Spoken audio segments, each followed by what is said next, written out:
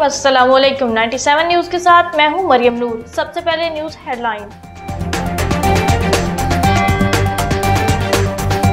Saudi अरब ने तेल बंद किया, ना ही पैसे मांगे हैं। शाह महमूद कुरैशी, इसराइल से मुतालिक भी पाकिस्तान और सऊदी अरब का मौकफ एक है। सऊदी अरब और पाकिस्तान के तलाकात मज़बूत हैं। भारत जो कहता है, कहता रहे, हम सी के लिए आगे बढ़ते रहेंगे। वजी खारजा शाह महमूद कुरैशी की प्रेस कॉन्फ्रेंस।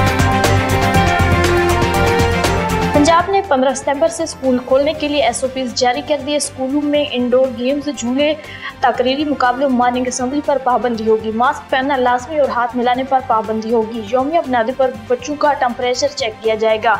जबकि तालब इलम अपने दोपहर का खाना घरों से लाएँगे। महकमा सेहत का नोटिफिकेशन कोरोना को शिकस्त देने में पाकिस्तानियों की कुत मुदाफ़ियत का अहम किरदार। पाकिस्तानियों की कुत मुदाफ़ियत दूसरे ममालिक में रहने वालों से कहीं बेहतर है।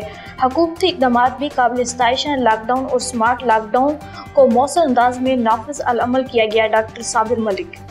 चीनी सदर ने आरिफ अलवी को लिखे खत में पाकिस्तान से मुतल खुशखबरी सुना दी। चीनी सदर ने लिखा कि हमारा तस्वीर तस्वीराती तावन बढ़ेगा। मेरे ख्याल में चीन और पाकिस्तान के बैन नए दौरे का आगाज़ होने जा रहा है। हारून रशीद। इस्लामाबाद में आठ मुहर्रम से दस मुहर्रम हराम तक डबल सवारी पर पाबंदी। आयत जोड़वा शहरों में मुहर्रम किया जा रहा के दौरान सिक्योरिटी और ट्रैफ़िक की रवानी को बरकरार रखने के लिए इंतज़ाम को हतमी शक्ल दे दी गई। कोरोना के दौरान अपनाए गए एस ओ पीज को भी मद्देनजर रखा जाएगा। ये थी आज की ताज़ा तरीन न्यूज़। मजीद खबरों और अपडेट्स के लिए विज़िट कीजिए हमारी website 97 news TV dot com. मिलते हैं मजीद खबरों के साथ। तब तक के लिए मरीम नूर को दीजिए इजाज़त। अल्लाह हाफिज़।